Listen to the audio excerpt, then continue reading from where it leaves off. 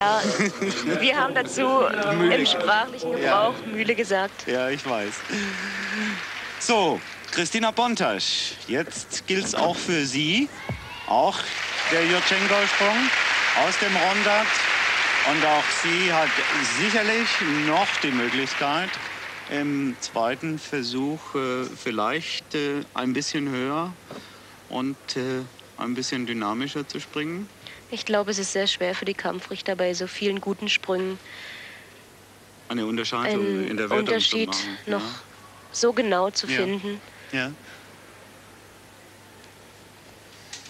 Sie hatte hier auch beim Ansprung äh, die Beine etwas auseinander. Mhm. Ja, sie bereitet sich auf die Landung vor Ja. und um vielleicht besser stehen zu können, Ja. nimmt sie die Beine auseinander. Ja. 9875, äh, das bringt sie noch nicht an die Spitze. Sie müsste schon eine 9,95 turnen, um zu Tatjana Gutzu aufzuschließen. Wenn ich das richtig im Kopf gerechnet habe. Pass mal auf. Wieder die Beine auseinander, noch ein Hüpfer. Also das wird wohl nicht reichen. Dieser